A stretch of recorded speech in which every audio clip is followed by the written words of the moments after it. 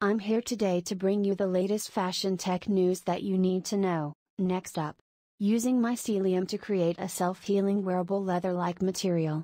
A pair of biotechnologists at Newcastle University, working with a colleague from Northumbria University, all in the UK have developed a way to use mycelium to create a self healing wearable material.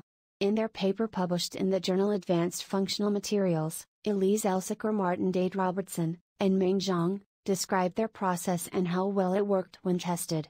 Testing of the resulting material showed it to be similar to other mycelium leathers in looks and characteristics. To find out if it could heal itself, the group punched holes in it and then placed it in a vat filled with the same liquid bath that had been used in its creation. Then they laid it out to dry, and as it did so, they noted that over time, the revived chlamydospores filled in the holes. Testing showed that the newly restored material was just as strong as an undamaged control sample. New source